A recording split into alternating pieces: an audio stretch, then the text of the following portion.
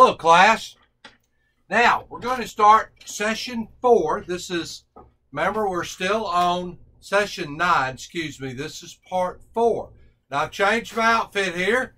I've got my little 1960s thin tie on, and I'm all dressed up in my suit because we're going to talk about John Fitzgerald Kennedy.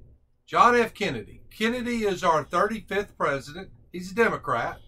I get a lot of Kennedy papers. I always tell my students, uh, you know, I think my my female students really like Kennedy, and I think if Kennedy were alive, that would really make him happy because Kennedy loved women, and that was something about John F. Kennedy. So let's talk a little bit about our 35th president, John Kennedy.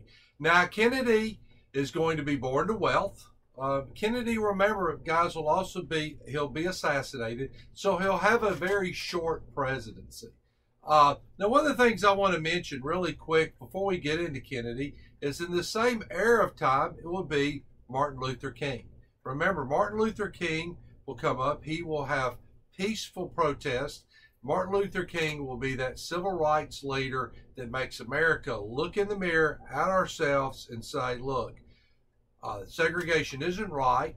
Uh, whites, kids that said, you know, it's not right. Why don't we go to school Like, What's the deal there? And it will be under his administration.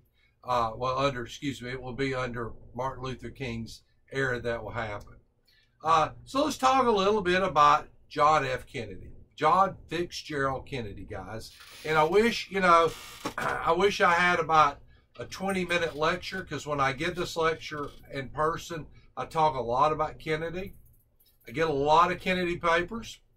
Uh, and there's misconceptions about John F. Kennedy. We'll talk a little bit about him. First of all, guys, John F. Kennedy is our one president that is truly a World War II hero. John F. Kennedy, guys, first of all, he had a lot of health issues, had a bad back, uh, could not would not could not even get into the United States Army during the Second War. Had to go to the Navy. They put him on what's called a PT-09 boat. These were small boats, well, small for the Navy, and they were kind of hit and run boats. Went out, uh, worked in the Pacific. He is in a he is a PT-109 commander. His boat gets hit and sunk. I want y'all to kind of picture this. You're out there in the middle of the ocean. It's at night. Uh, your boat is sinking, and John F. Kennedy will take uh, every member of his crew. He will save them. He will take a put them put a life preserver on them, a life vest, puts the other end in his teeth, and he swims. He was a college swimmer, by the way. Uh, Kennedy will swim all the way to this island. He'll put the guy there. He'll go back and he'll do the same. He will save every member of his crew. He is truly a World War II hero. Now, the thing about Kennedy, he never used that in any of his campaign speeches. He always felt what he did in the war, he did for his country, and he did not do that to get some type of campaign speech or become the president.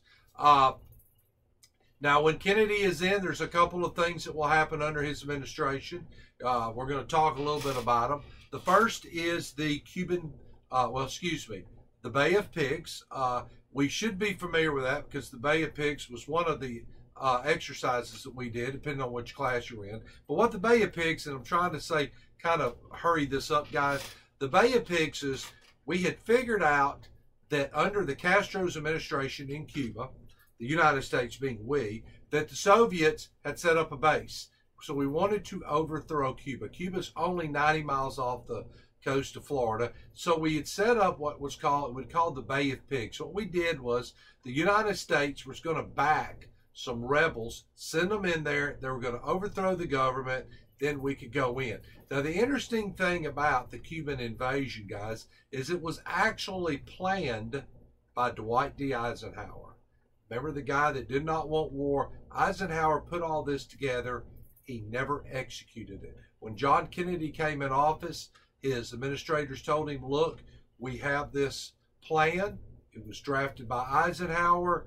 Kennedy just assumed, look, if Eisenhower drafted it, this is the same guy that did Normandy. This will be a shoe in. We can do it. Kennedy will, uh, from there, launch this invasion. It is a terrible, terrible failure. Uh, and several things will happen. One of the things the Soviets will look at Kennedy and they will say, This young, inexperienced American president, they will test him. That will be the Cuban Missile Crisis. Guys, this is probably Kennedy's greatest test. Uh, the Russians have all these nuclear weapons that they're transporting to Cuba. And what it is, is they've got the devices, the actual rockets and the launch systems are at Cuba, 90 miles away from the U.S.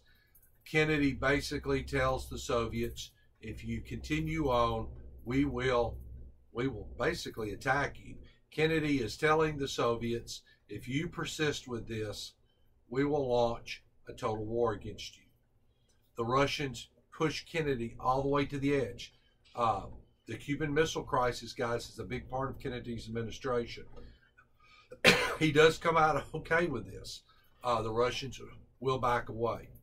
So when you look at the Kennedy administration, you're looking at number one, the Bay of Pigs, which was a failure. You also look at the Cuban Missile Crisis, which is a little bit better.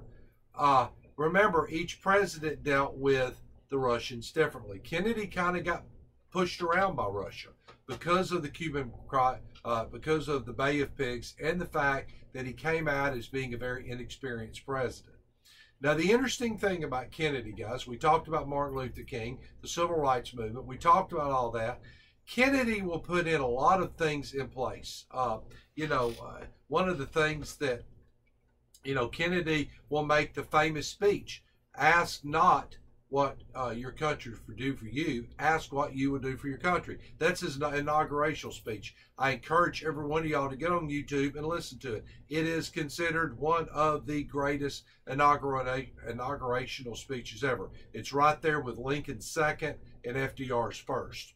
Uh, now, the Peace Corps, he will launch the, the Peace Corps. And the last thing with Kennedy that he does, that he's noted for, is he will challenge us to send a man to the moon. And we will do that. He will, it will be the NASA space program that will put together, and Kennedy will challenge the United States to put somebody on the moon, and we'll do it. Uh, interesting thing, guys NASA. NASA was built by when at the end of World War II, we went over there to Germany. Germany had great rocket technology. They were 20 years advance of anything we had. We got all the rocket scientists we could get out of Germany at the end of the war. These guys will then build NASA. So yes, the NASA space program was built by German scientists that had worked at for the German army in World War II. I didn't say they were Nazis. I just said they were scientists that developed the German rocket systems during the Second War. Unfortunately, Kennedy will be assassinated. Uh, guys, probably one of the greatest paper titles I ever read was a student wrote Kennedy, a portrait never finished. Basically, what the student said was that Kennedy had all these plans. Kennedy did have civil rights plans. Kennedy had the space program the Peace Corps. He had started all this stuff, but yet a thousand days in his administration, John F. Kennedy is assassinated. And we will really never know what John F. Kennedy could or could not have done. Uh, there's several books out there you can read. Some people think that Kennedy uh, would have not done so great because uh, he did not have the political background to get a lot of the civil rights stuff done. Some people think he, he does. Uh, JFK is always a good one to write about. Uh, I, you know, I like JFK. I think he was a good guy.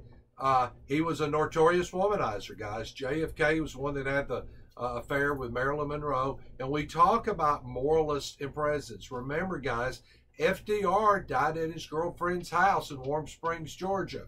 John F. Kennedy had several women that he was having affairs with. Uh, some of them would come to the White House and they'd have affairs. John F. Kennedy was a notorious womanizer. Uh, he dated Marilyn Monroe. Uh, does that make him a bad president? That's kind of up to you. But like I said, JFK, there you go. I hope you like my JFK outfit here today. I've got my little thin tie on, got my little jacket on in honor of John Fitzgerald Kennedy. So, guys, this will conclude this lecture. We come back, we're going to talk about the predecessor, Lyndon Baines Johnson, one of the most interesting guys that's been in office. Right, guys. We'll see you then. Bye.